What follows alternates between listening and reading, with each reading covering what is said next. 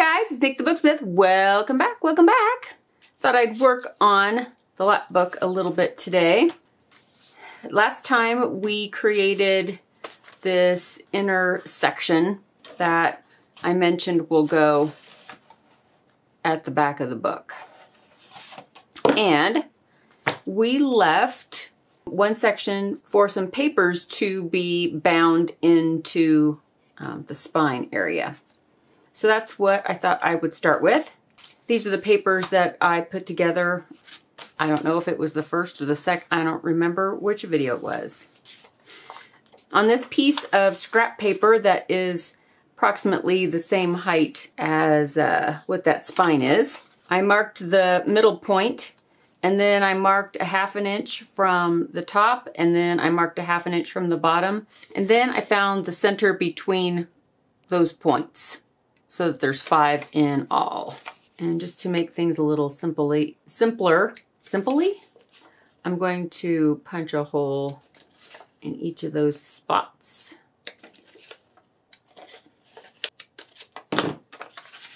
And then I'll place this in the center.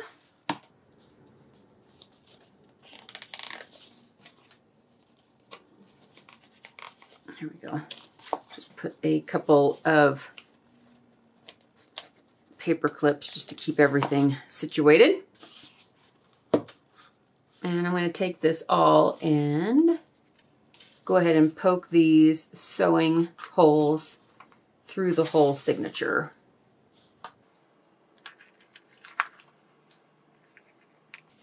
And I will place this in here.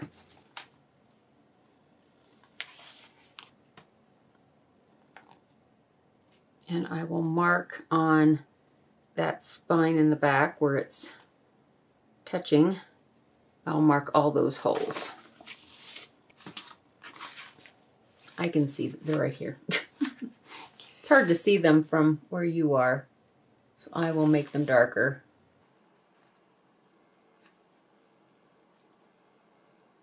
There we go.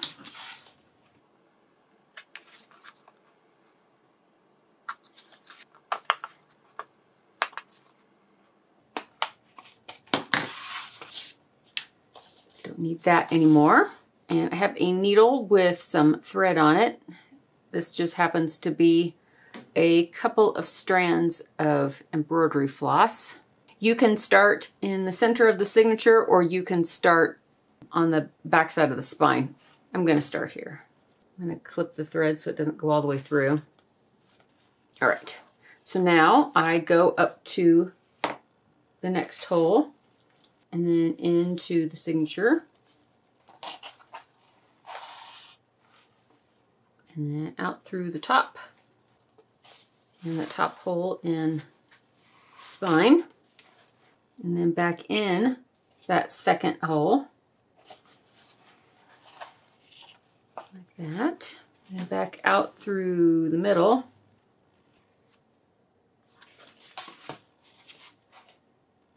And then into the next hole down which is the fourth one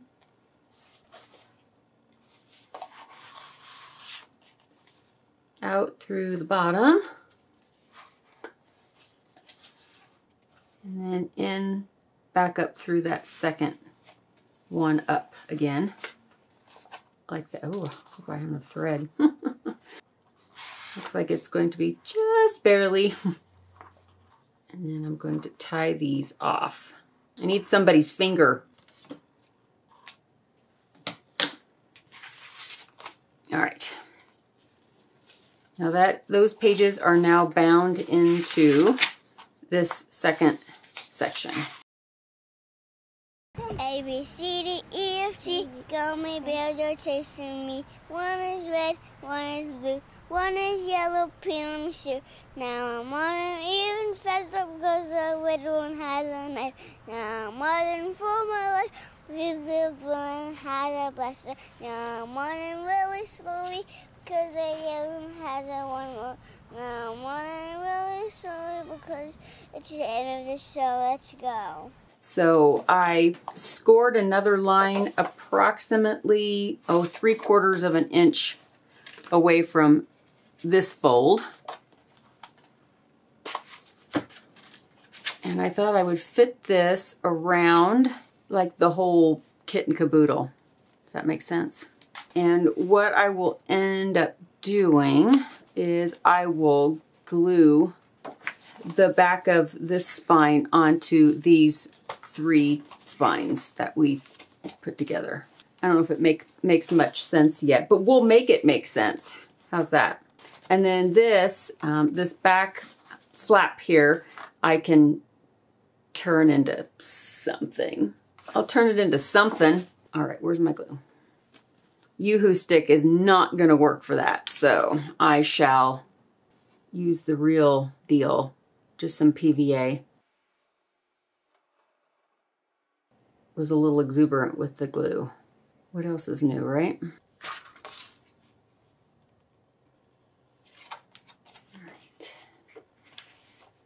And there's a little bit of extra room in the spine, meaning this green thing that I just wrapped around the back, its spine is a little wider than uh, the pieces that we just made. I'll show you in a minute.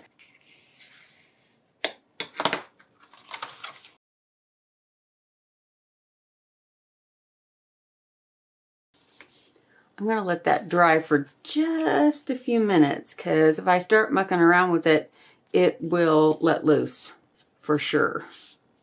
I'm going to cut some of this off.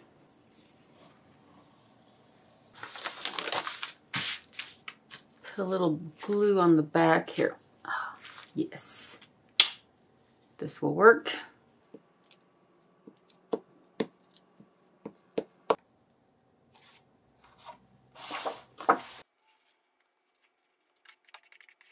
I just want to line the inside of this.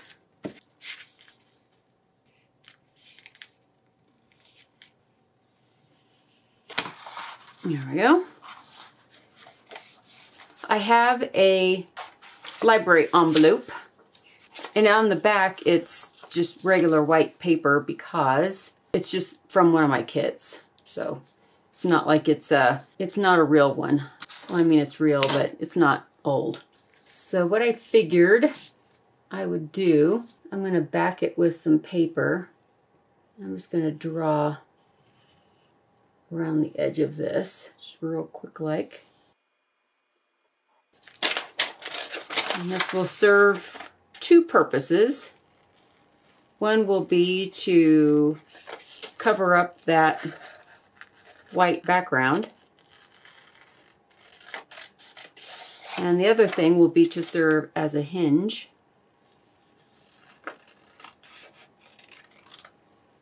So it can flip out, man. I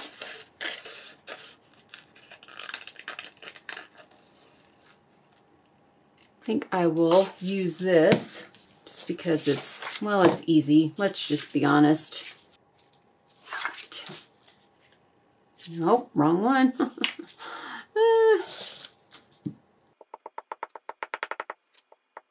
Be careful not to go past the where it's going to fold.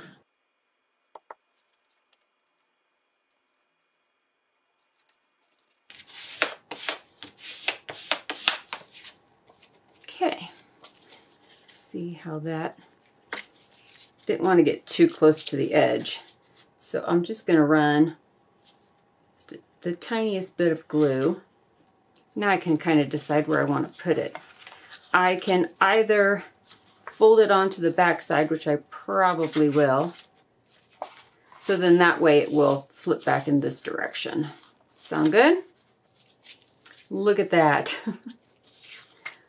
Just to use some tape.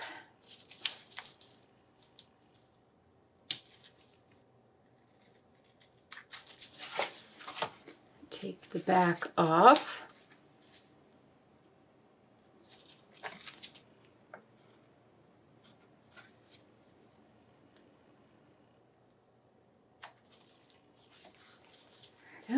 And I will locate a card to put in that. I'm not real keen on the pattern on this, but I do rather like the tab kind of poking out here on the side. But this should work. I even have grid lines to line everything up.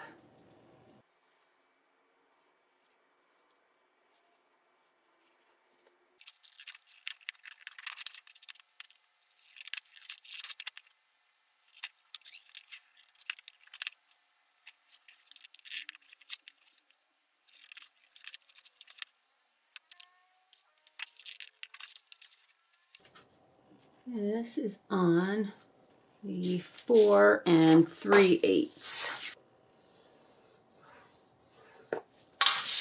I think this will look much better.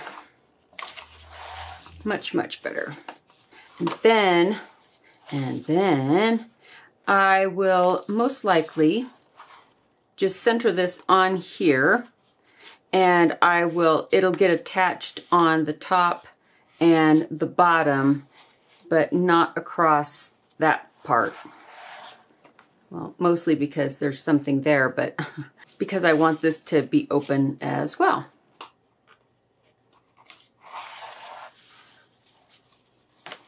So I will probably sew this and this and go ahead and just close this up and I may leave this underneath here just as a secret little hiding spot, just to do it. These are my offcuts. And I may, I don't know, cut these apart. And for here,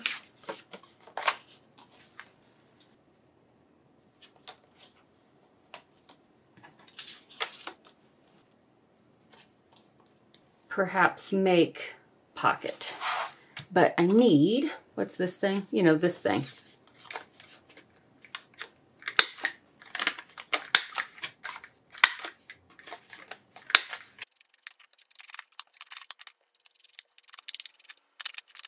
So if this, I just kind of want this to like maybe poke out a little bit.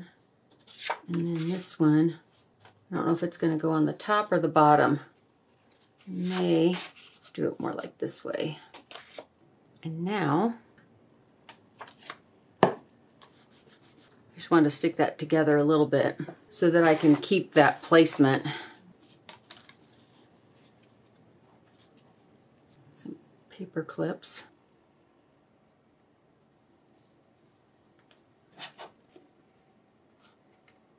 And then something can be slipped in there or, you know, whatever. I just kind of like the looks of it hanging out kind of like a raggedy, like there's extra paper shoved in there when there's not, but you know what I mean. So what I'm going to do, so what I'm going to do, I should enunciate and try not to say too many words at once. Okay, so I'm going to put a stitch line along this edge and a stitch line along this edge, and that will attach this to this and it will be uh, underneath um, this little flip out pocket so it won't matter. So I'll just sew both of those and then that will be taken care of.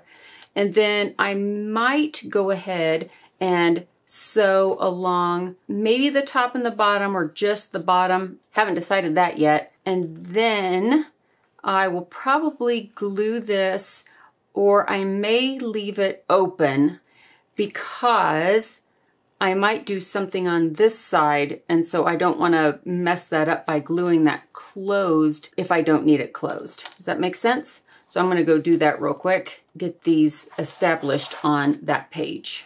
This is sewn on, but I left it open underneath here just in case.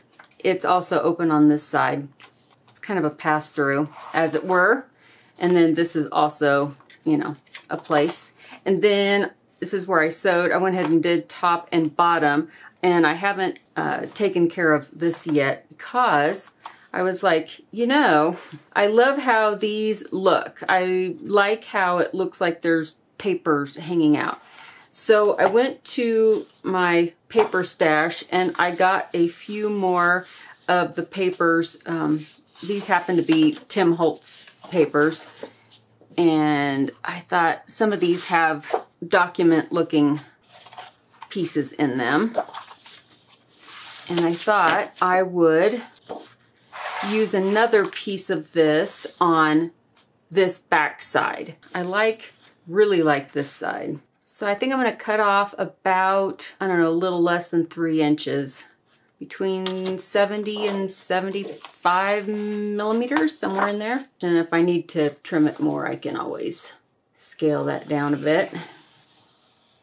I cut it so that just a little bit of the script would hang out over the edge. Just a little bit.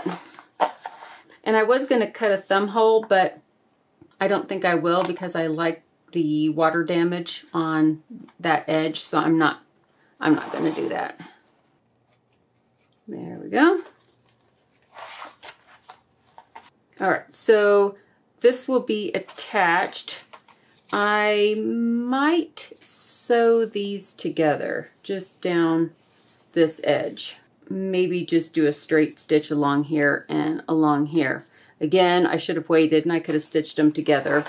Not that it makes too much difference because the more stitches, I don't know, the better sometimes. It just makes it look more hodgepodge and thrown together. I don't have a problem with it. Trimmed off a couple more document pieces and I may attach those to this piece just so that it wouldn't be like one plain, you know. But what I might do is sew um, these two to this and perhaps sew down this edge as well before I attach it onto the page it's on at the moment. All right, I'm gonna go sew down this edge and then perhaps sew these together. I'll be back. Sometimes you have to just work it out at the sewing machine and not think about it too much. And here it is all sewn on. I left this as one large pocket and then I sewed through here so that there was two. There's one here and then there's one here. And this one's still the same.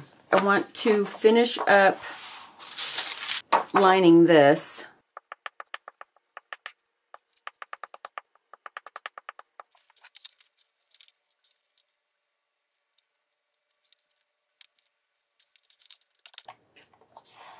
Care if it's a little wrinkly.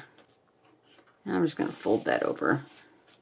And I have this piece of um, dictionary page that I backed with some craft card and then I coated it in the uh, the varnish, you know, the artist's varnish, the Liquitex, the matte varnish, or whatever brand you like. And I just chopped it in half. It had two pieces. And what I thought I would do, perhaps, is sew along this edge and then sew along this edge and this edge and then maybe down the center or a couple of them and make pockets. Yeah, I'm not going to think about it too long. I'm just going to do it. So there is this all sewn on. I went ahead and just did two pockets and I sewed along this edge as well. Then I guess the last thing for this insert section will be, I had some more papers just sitting here, some random little papers, and I thought perhaps I would do one more small signature so that there's some more writing space. In this signature, in the center, I have a craft paper envelope that I took apart and tea stained. So that goes in the middle middle. And then it'll get glued back together after it gets sewn in. And I'm just going to do it exactly like I did the other one which is the five holes, and I'll just go through this green part here. So I'm going to poke those holes and just get that sewn in just like I did the signature in the section before.